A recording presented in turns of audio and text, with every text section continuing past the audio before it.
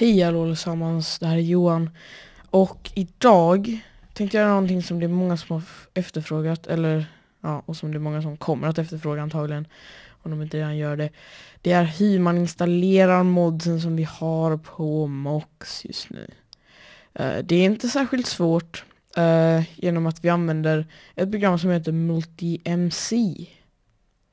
Uh, eh, jättefiffigt program som gör det så mycket enklare att installera så jag rekommenderar att ni skaffar det.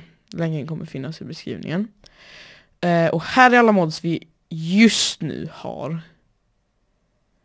Kan se ut som en hel del. Så vi har de som går in i jar först.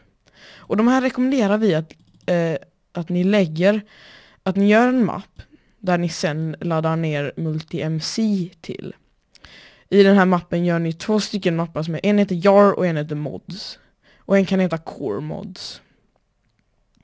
I jar-mappen vill vi att ni eh, laddar ner och lägger Forge och så tar ni eh, den här eller den här Universal Latest. Eh, det spelar ingen roll vilken. Sen ska ni gå in på eh, den här, alla länkar kommer finnas i beskrivningen förresten. Detta är för Mystcraft. Mystcraft 0.9.2.01 är den vi har. Ladda ner den där. Sen Optifine är frivilligt och eh, ni kan också eh, ladda ner Inventory Tweak om ni vill. Eh, och ja, så Optifine, och det, den här är den vi kör. Det, det är den bästa vad det, som vi tycker. Och sen har vi då, där, så det är de som ska in i er eh, jar eh, i eh, den här mappen som ni kan se så har jag redan laddat ner dem. Uh, sen i er Core Mods mapp som ni kommer ha, jag har inte, jag har inte en sån. Uh, mina ligger här. För det är då Code Chicken Core som ni vill ladda ner. Code Chicken Core, denna, download. Och också Not Enough Items som ni hittar här. Här hittar ni det. Och så downloadar ni där. Och eh, det är ungefär det. Sen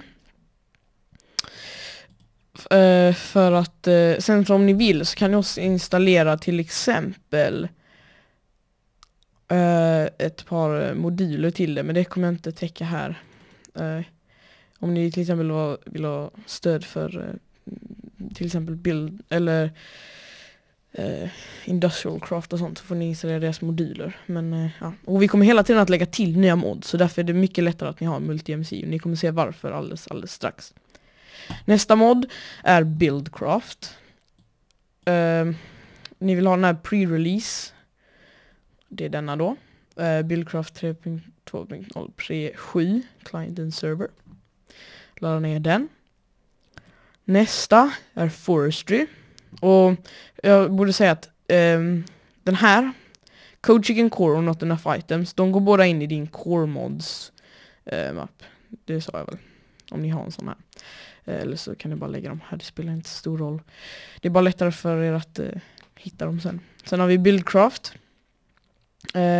och alla mods som följer här ska in i er Mods-mapp. Alla dessa. Så här har vi då Buildcraft, Forestry, laddas ner här, Client and Server. Industrial Craft uh, finns download. Logistics Pipes, den. Uh, här har vi Iron Chests uh, som då man kan ladda ner.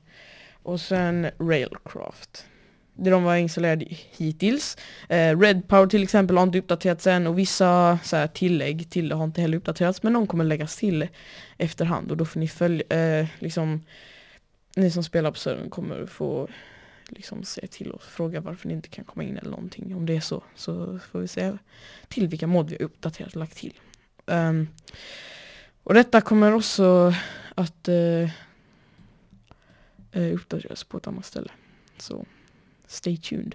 Så nu har, borde ni ha alla eh, från Buildcraft, Forestry, Industrial Craft, Logistics Pipes, um, Iron Chest och Railcraft borde ligga i er modsmapp här. Jag har också inventory tweaks här.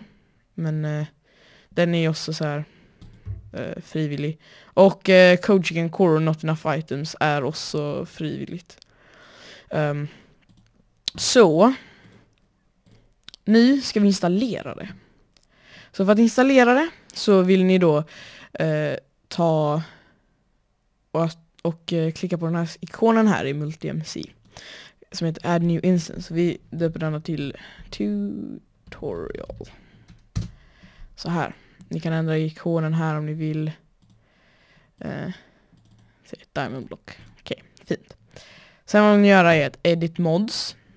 Och här ser ni nu jar mods, core mods och mods. Kommer ni ihåg det var de här mapparna som vi precis gjorde här? Så med jar mods är allt vi behöver göra att klicka add och gå in i vår jar map lägga till först Minecraft Forge sen lägga till Mistcraft och till sist lägga till Optifine om ni nu vill ha det. Klicka reload och close.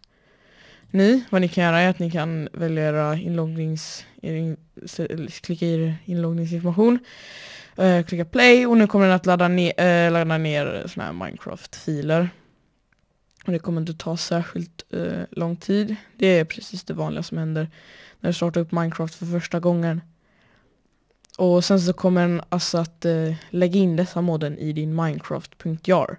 Och om allting har gått enligt planerna nu, vilket jag förhoppningsvis har gjort, så borde ni se den där lilla FML som kom upp där uppe, eller där nere. Det står inte för Fuck My Life som Martin trodde.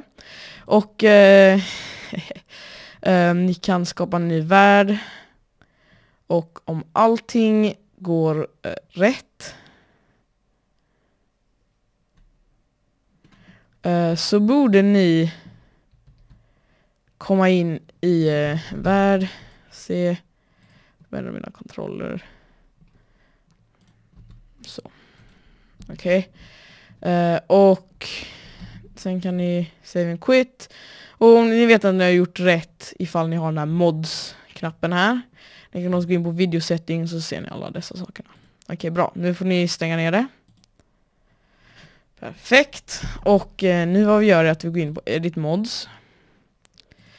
Eh, och i Core Mods så vill vi då lägga till Code Chicken Core.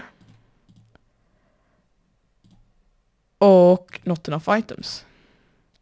Klicka Reload och Close. Eller ja.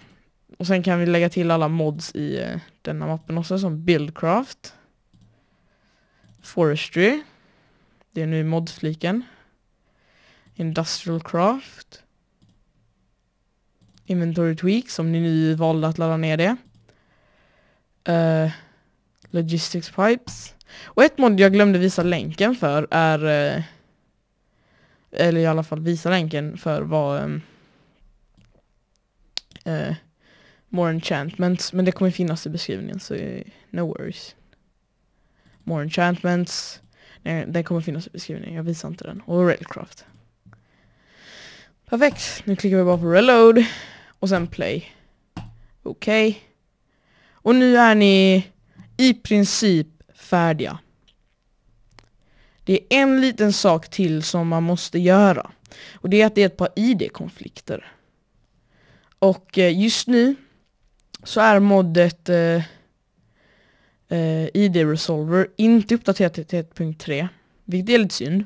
Så därför måste jag göra detta eh, manuellt. Men eh, så fort ID Resolver är eh, uppdaterat så kan ni ladda ner den.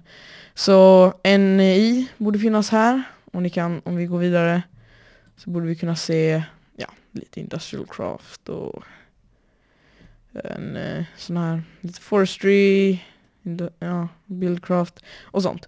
Men till exempel, eh, ett perfekt exempel på den här ID-konflikten är om vi tar och spånar oss in en, eh, en bok.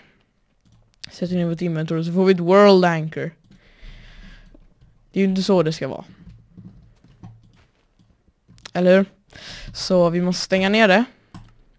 Quit game. Och sen här i vår, där vi la vår multi-MC så har det kommit en till mapp som heter instances. Här kan vi se alla våra såna här Till exempel Mox Snapshot Tutorial. Om vi går in i vår tutorial så kommer vi hitta vår uh, min uh, Minecraft map. Här är exakt vanliga uh, Minecraft map. Här vill ni gå in i config. Och i config vill ni gå in i Mystcraft. Och här får ni bara ändra numren. Jag brukar bara lägga till en trea framför allting. Eller byta ut tvåorna mot treor. För det brukar funka då. Och eh, så när ni har gjort det, jag tänker bara göra ett par stycken. Så sparar ni genom att trycka på Ctrl S och stänger ner det. Och sen borde det vara eh, fixat. Um, i några fall så får man lite Railcraft problem och då kanske man behöver eh, öppna en sån här Railcraft med vilken texteditor som helst och eh, ändra dessa. Så om vi sätter denna till ja, 600 eller någonting. Och om vi nu till exempel, vilken var det nu? Linkbook, Crystal Books, um,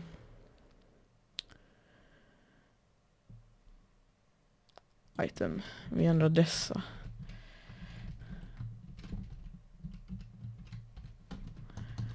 Så. Och nu, om vi stänger ner den mappen och öppnar vår tutorial igen